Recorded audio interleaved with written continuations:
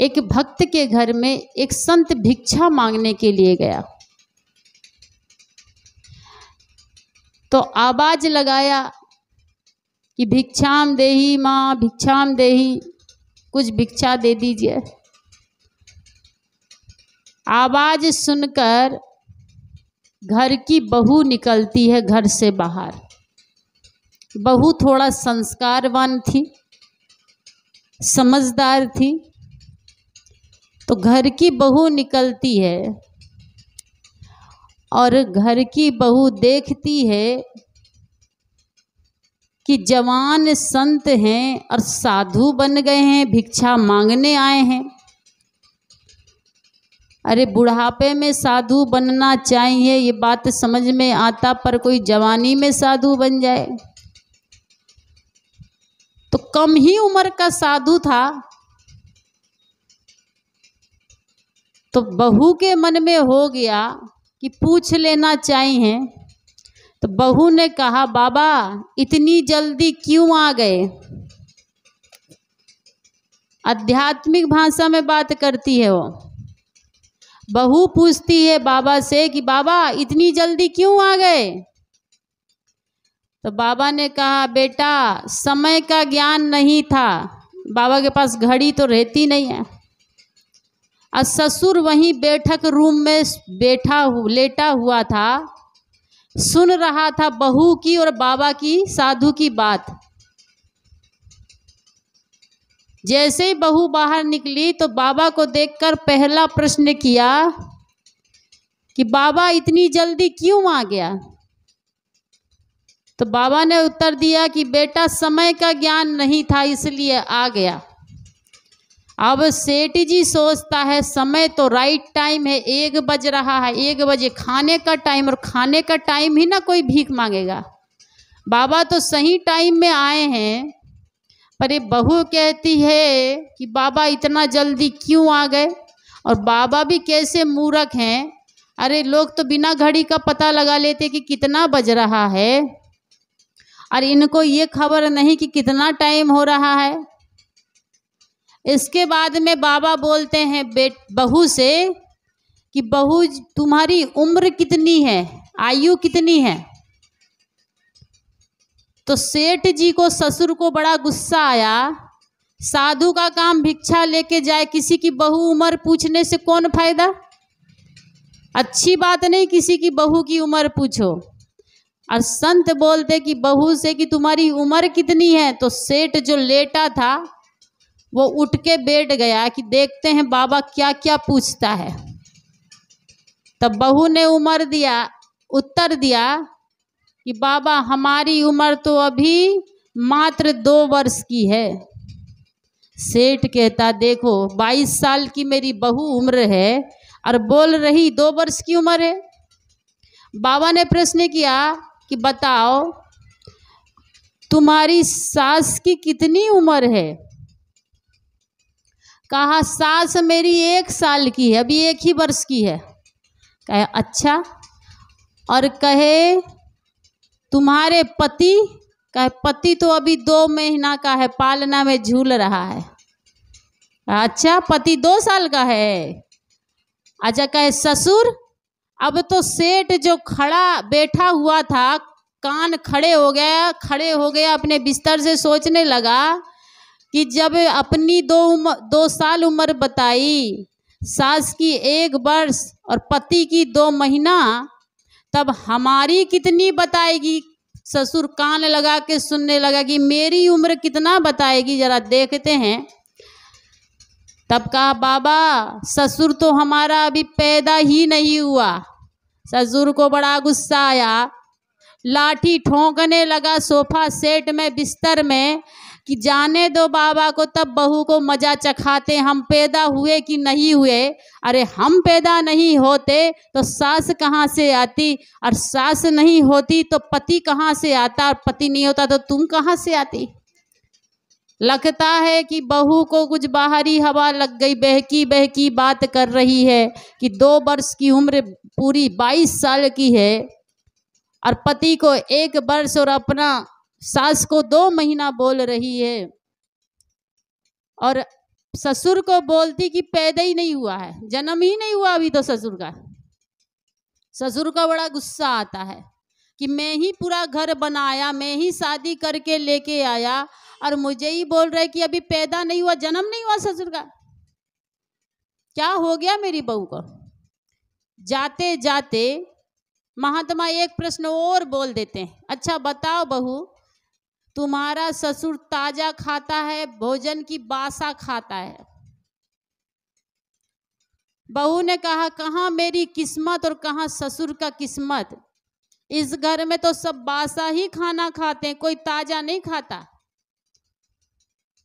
ससुर को बड़ा गुस्सा आया कि इतने बड़ा सेठ में, नगर में इतना बड़ा सेठ कोई नहीं, मार्केट में इतना बड़ा सेठ नहीं है। करोड़पति रोज गरम गरम बनता है, पराठा, पूड़ी, खीर भुजिया रोज गरम तीनों टाइम। और मेरी बहू बोल रही है कि कहाँ किस्मत में मेरे ससुर को ताज़ा लिखा हो तो बासा खाते हैं। आज तो मेरी नाक कटा के रख दी बहू ने। क्या समझेंगे ये महात्मा? कितना बड़ा सेठ और बासा खाना खाता है? भिक्षा लेकर जब महात्मा अपने कुटी पर चला गया, गाँव के बाहर एक कुटिया बनी हुई थी। तब सेठ जी अपनी पत्नी, बहू से कहते, क्यों जी? जब तुम महात्मा आया तो क्या क्या उल्टा सीधा जवाब दिया उल्टा सीधा प्रश्न किया? तुम बहू हो को क्या हो? तुमने तो मेरी नाक कटा दी। इस समाज में मेरी इतनी प्रतिष्ठा है, इतना मान सम्मान है, और आज तुमने बोला कि बासा खाता है, सेठ अभी, ससुर अभी जन्म नहीं लिया, सास एक साल की, पति दो महीना का। तुमने तो आज मेरी नाक कटा दी। ये महात्मा ना जाने कितनी जगह बोलेगा कि फलाने की बहू तो पागल है। ससुर से बहू बोलती है, पिताजी परेशान क्यों होते हैं? हमने जो उत्तर दिया वो सही सही था। कहा बिल्कुल गलत? कोई उत्तर सही नहीं था। तुम पूरी बाईस साल की हो और बोलती दो साल की है। पति बोलते हो कि दो महीना का। सास को बोलती एक साल की। तुम कौन सही उत्तर दिया? और वो बाबा भी कैसे बाबा था? किसी की बहू की उम्र नहीं पूछना चाहिए और वो तुमसे उम्र पूछ रहा कितने साल की हो? उम्र से कौन मतलब? भिक्षा लीजिए और जाइए। कहा, बाबा, और हमारी जो बात हुई ना, उसका अर्थ आप नहीं समझोगे। कि, कहा, कौन अर्थ है? कहा, चलिए बाबा की कुटी में, बाबा से आप पूछ लीजिएगा। ससुर गया और बहू भी साथ में गई बाबा की कुटिया में, आश्रम में।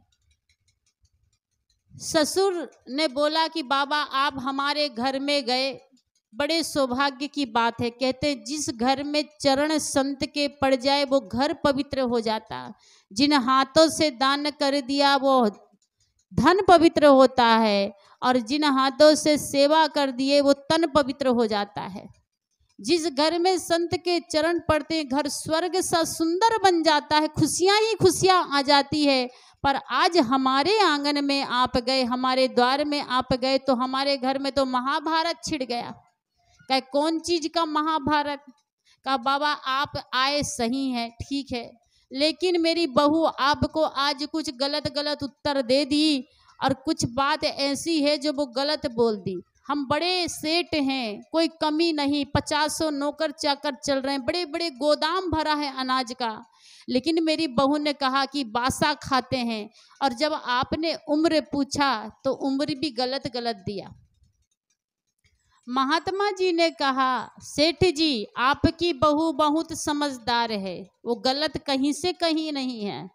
और जो उत्तर उसने दिया है, वो भी पूरा सही सही उत्तर है। कोई उत्तर गलत नहीं दिया। कहा, कैसे गलत नहीं दिया? है पूरी बाईस साल की और बोलती, हम दो ही साल के हैं। कहा, ये आध्यात्मिक अर्थ है। वो आप नहीं समझोगे। मैंने जो प्रश्न किया वो भी आध्यात्मिक था और बहू ने जो प्रश्न किया वो भी आध्यात्मिक था। बोले, कैसे? पहला प्रश्न है, बहू ने पहला प्रश्न किया कि, बाबा, इतनी जल्दी क्यों आ गए? तो सेठ कहता, सही ना बोले बाबा कि टाइम है भोजन का, अब भोजन के टाइम में ही आप आए, पर मेरी बहू बड़ी मूर्ख है। हमको वो, आपको बोली कि इतनी जल्दी क्यों आ गए? महात्मा ने कहा, आप नहीं समझे। ये टाइम वाली जल्दी की बात नहीं कर रही थी। वो कह रही थी कि, बाबा, इतनी जल्दी साधना मार्ग में क्यों आ गए? अभी तो संसार में मौज मस्ती करने का दिन था। ये जवानी कोई भजन भक्ति ध्यान साधना के लिए नहीं है? उनका कहने का मतलब था, इतनी जल्दी साधु मार्ग में क्यों आ गए? भिक्षा मांगने वाली बात नहीं कर रही थी वो। पहला प्रश्न जो किया बहू ने कि इतनी जल्दी क्यों आ गए? अर्थात इतनी जल्दी भक्ति मार्ग में, साधना मार्ग में, सन्यासी मार्ग में क्यों आ गए? ये आध्यात्मिक उत्तर प्रश्न था। तब मैंने उत्तर दिया कि समय का ज्ञान नहीं था। ये घड़ी वाली समय नहीं, ये मौत का कोई ज्ञान नहीं कि बुढ़ापे तक मौत हमारा इंतज़ार करे। कुछ जवानी में चले जाते, कुछ बचपना में चल जाते, कुछ अधेड़ में चले जाते, कुछ बुढ़ापे में और कोई जर्जर अवस्था में। इसीलिए मैं जल्दी अब संन्यास मार्ग में आ गया क्योंकि मौत का कोई ठिकाना नहीं। किस घड़ी, किस समय, कहाँ, कब आ जाए? इसीलिए मैं साधु मार्ग में जल्दी आ गया। सेठ को समझ में आ गया कि बात कुछ दूसरी। फिर प्रश्न किया, सेठ ने कहा, मेरी बहू की उम्र पूरी बाईस साल है। और इसने कहा, आपसे कि दो ही वर्ष की उम्र हो रही? जबकि ये पूरी बाईस साल की है। तब से साधु ने उत्तर दिया, कहा, सेठ जी, बाईस साल इस शरीर का हुआ है। लेकिन वास्तविक उम्र कब होती है? जो दिन सा जाए साधु संग में, जिस दिन हम भजन भक्ति करते हैं, सेवा सत्संग करते हैं, परमार्थ का कर, करते हैं, वही उम्र हमारी सार्थिक है। और जो हम खाते, पीते, जो डेली हम भौतिक क्रियाकलाप करते हैं, वो निरर्थक है। कहा गया है, भोजन, छाजन, भय, निद्रा, मैथुन, मोह, ये पशु भी करता है, आदमी भी करता है। इसकी कोई उम्र की गिनती नहीं। ऐसा काम अगर आप 500 साल तक करते रहिए तो उसका कोई महत्व नहीं। पर एक दिन भी आप भजन सत्संग कीजिए तो उसका बड़ा कीमत है। बहू ने कहा कि, महात्मा, मेरी उम्र दो ही साल है। क्यों? बीस साल तो मैंने अपने घर में नैहर में खाने पीने खेलने में पढ़ने लिखने में बिता दिया, लेकिन जब ससुराल में आई तो यहाँ पर मेरी पड़ोसी सत्संगी थी और वो सत्संग में ले जाने लगी। मैं दो साल से दीक्षित हूँ और सत्संग में लगी हूँ, इसलिए दो साल ही मेरे सार्थक है, बीस साल तो मेरे गए पानी में। और कहा, सास की उम्र एक वर्ष, कहा समझाते समझाते एक साल हुआ है, सास अब सत्संग में जुड़ी है। जब कहती तो कहती, मैं घर रखूँगी, घर की देखभाल करूँगी, तुम सत्संग में चली जाओ। समझाते समझाते कि, माँ जी, अंत भला तो सब भला। अभी तुम्हारा समय बहुत कम है। अंतिम समय में कुछ सत्संग का, ध्यान साधना का, भजन भक्ति का, अपने जीवन में पुण्य का संस्कार अपना लीजिए। इसलिए एक साल हुआ है मेरी माँ दीक्षित हुई है सासू माँ। अब पति को बोलते बोलते बोलते थक गई, पर दो महीना हुआ दीक्षा लिए। पीने खाने में लगा था, संसार के राग रंग में लगा था। पति समझने को तैयार नहीं। पति को जब भी बोलो, सत्संग कीजिए, ध्यान कीजिए। तो कहता कि जैसे धन में मेरा हिस्सा है, आधा आपका, ऐसे ही आप धर्म कर्म कीजिए, आधा हिस्सा मुझे मिल जाएगा। धन के हिस्सेदार पूरा परिवार हो सकता, समाज हो सकता है, पर धर्म का हिस्सेदार एक ही होता है, जो करता है वही। धर्म का बंटवारा नहीं होता। मान लो अगर पति पाप करे, किसी के घर चोरी कर ले तो पत्नी भी जेल जाती साथ में की। बंटवारा होता पाप का। दोनों को जेल होता कि एक को? एक को ना जेल होता है। जब पाप में बंटवारा, नहीं तो पुण्य में कैसे बंटवारा? पाप और पुण्य में कभी बंटवारा नहीं होता। जैसे बाप पाप करे तो बेटा को जेल हो जाए, ऐसा होता है? नहीं। बेटा पाप करेगा तो बेटा को जेल होगा। बाप पाप करेगा तो बाप को, कहते हैं, ना माई ना बाप का, जो आपन कर्म आपका जो कर्म करता है अपना, कर्म धर्म अपने साथ होता। धन का, घर का, माल जाल का बंटवारा कर सकते हैं। उसमें हिस्सा बेटा का, बहू का, पोता का, गोत्रिया का सबका हो सकता है। लेकिन धर्म में हिस्सा किसी का नहीं हो सकता। जो करता है वही भरता है। दूसरा नहीं हो सकता कि चलिए ससुर के ऊपर बहुत टेंशन है, बहुत पाप चढ़ गया तो आधा बहू बंटवारा कर ले। नहीं। पति अगर गलत कर्म कर रहा है, पत्नी सोचे, हम धर्म, कर्म अच्छा कर रहे हैं, पति को उसका लाभ मिलेगा तो कभी नहीं मिलता। कभी नहीं मिल सकता। चाहे लाख कोशिश कीजिए। अब पत्नी अगर गलत करती है, पति सोचे कि हम अपना पुण्य इसको देकर बचा लें तो नहीं बचा सकते। जेल से बचा सकते हैं।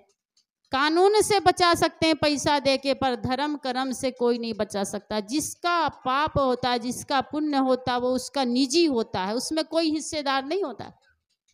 तो पति मात्र दो महीना हुआ है, सत्संग में लगा है, इसलिए उनकी उम्र तो बाकी, बेकार मात्र दो महीने की सार्थक है। और ससुर इस, इसलिए अभी पैदा नहीं हुआ बोले, क्योंकि ससुर आज तक सत्संग में गया ही नहीं है। लाख बोलने पर भी कि पिताजी जाया करो, कभी संत को बुलाया करो, कभी साल में एक बार दस संत बुलाकर ध्यान करवा दिया करो। पर ससुर इन सब चीज़ों से दूर है, सुबह से शाम तक खाली दुकान में बैठे रहते हैं। गल्ला की दुकान है, अनाज की दुकान है। दुकान से कभी फुर्सत नहीं मिलती। तब सेठ के समझ में आ गया कि वाकई में हम अभी पैदा हुए नहीं। शरीर तो पैदा हुआ, लेकिन भौतिक शरीर का पैदा हो गया, पर अध्यात्म का भी जन्म नहीं हुआ। अभी खाली हम संसार के इसमें ही घूम रहे हैं। तब सेठ जी ने कहा, महात्मा जी, सब तो सही हैं, पर एक बात गलत है। का कौन बात? हमारे घर में रोज ताज़ा ताज़ा घी का, देसी घी का, पराठा, पूड़ी सब्ज़ी बनता है। कोनो चीज़ की कमी नहीं। पचासों नौकर है। पर मेरी बहू ने कहा कि मेरे पिताजी ससुर जी बासा खाते हैं। बासा का मतलब समझ गया? सुबह का बना शाम और शाम का बना सुबह खाइए, उसे बासा कहते हैं। बच गया जो?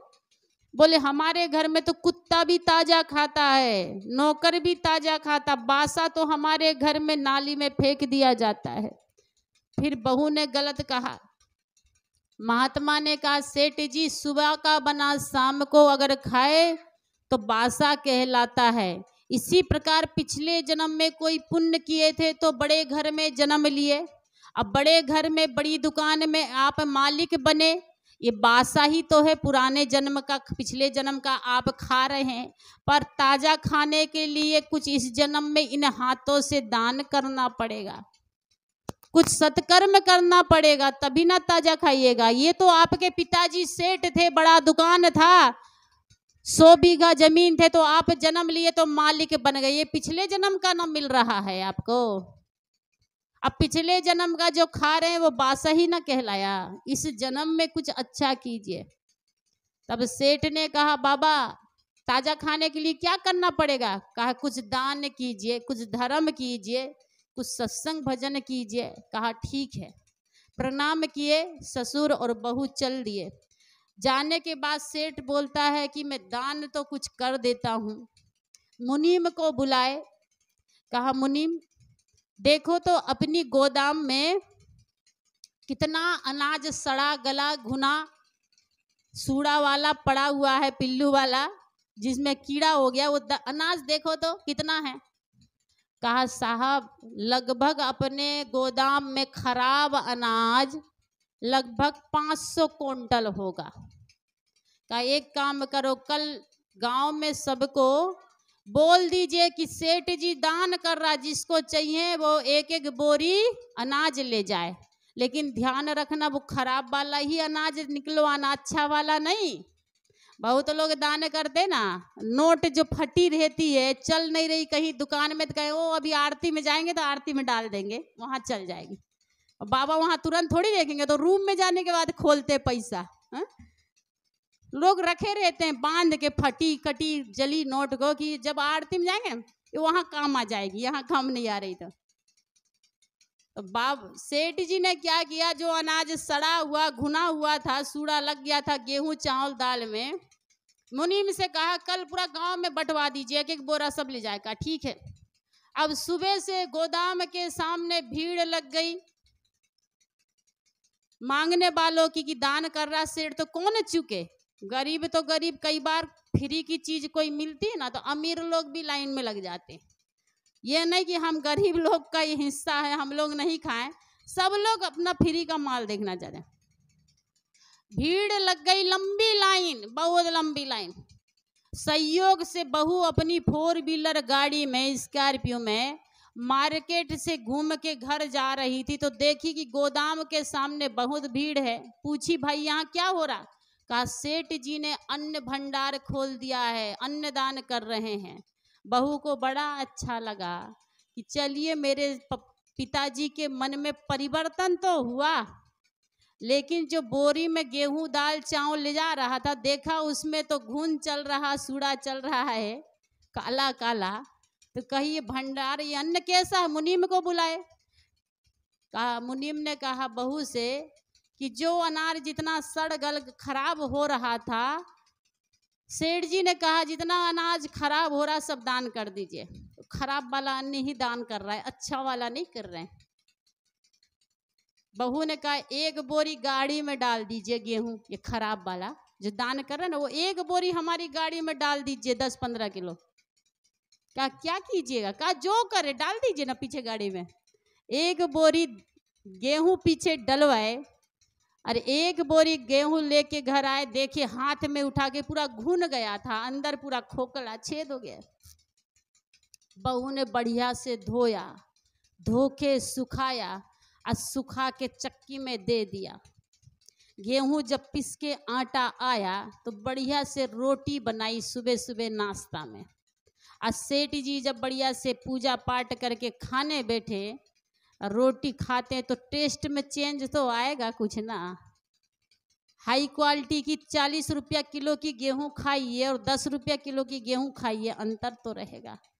घुना हुआ अनाज का स्वाद और फ्रेश गेहूँ का स्वाद में अंतर तो है। सेठ जी ने पत्नी, बहू को आवाज़ दिया, कहा, बेटा, रोटी में स्वाद कैसे आ रहा है? रोटी टेस्टी नहीं लग रही, मीठी नहीं लग रही, स्वाद में तुझ कड़वाहट है। कहा, पिताजी, आदत बनाइए ना। कहा, क्यों? कहा, अब ऐसे ही गेहूँ की आटा की रोटी मिलने वाली है अभी से आदत बना लीजिए, अब ऐसे ही खाना मिलेगा। कहा, क्यों, क्या बात है? बहू ने कहा, जो दान जैसा देता है, वैसा पाता है। खराब दान दीजिएगा तो खराब पाइएगा अच्छा दीजिएगा तो अच्छा पाइएगा। आप इस जन्म में खराब खराब गेहूँ, दाल, चावल सब बांट रहे हो तो अगले जन्म में खराब खराब ना मिलेगा। जी अच्छा थोड़ी मिल जाएगा। और आपको आदत बनाना है अगले जन्म के लिए। इसलिए अभी से खाने का अभ्यास कीजिए, अब से यही आटा की रोटी बनेगी। सेठ को समझ में आ गया कि हमने दान तो किया, पर कैसा दान? जो हमारे यूज़ में नहीं था, रिटायर माल। खराब दान। इसलिए खराब दान कभी मत कीजिए। जो काम की चीज़ है, उपयोग की चीज़ है, वही दान कीजिए। कई बार ऐसा कपड़ा दान में देता कि संत पहन ही नहीं पाते, पोछा बनाना पड़ता तो पहनने लायक चीज़ दीजिए कोई भी सामान दीजिए, यूज़ हो जाना, उपयोग में लग जाना चाहिए। इसीलिए कहते हैं कि जीवन मिला हुआ है तो इसको सार्थक करने के लिए भौतिकता के साथ साथ में अध्यात्मता को भी समावेश कीजिए, क्योंकि भौतिक धन बेवह पद, प्रतिष्ठा और जितना भी आपका पसारा है, वो ये जन्म तक के लिए परलोक का साथी कोई नहीं, परलोक का साथी एक कर्म है। तो आप लोगों के बीच में कुछ देर में निवेदन की एक कहानी के माध्यम से कि हमारी उम्र अभी कितनी हुई है? चालीस साल? नहीं। दस साल तो बचपना में बीत गया। बाकी जितना था, अध्यात्म में लगा। आप भी ये मत सोचिए कि हम साठ के हो गए। साठ शरीर का हो गया। पर हमारा जीवन जितना हमने भक्ति किया, सेवा किया, सत्संग किया, सार्थक उम्र वही से शुरू होती है। इसलिए कहते हैं कि भौतिक शरीर का जन्म माँ बाप से होता है और दीक्षा लेने के बाद गुरु के माध्यम से दूसरे जन्म शरीर का जन्म होता है, अध्यात्म का जन्म होता है। दो जन्म मनुष्य का होता है, एक माता पिता से, एक गुरु से। इसलिए गुरु को भी माता पिता कहा जाते हैं। लेकिन वो धर्म के माता पिता होते हैं और ये जन्म के माता पिता हैं।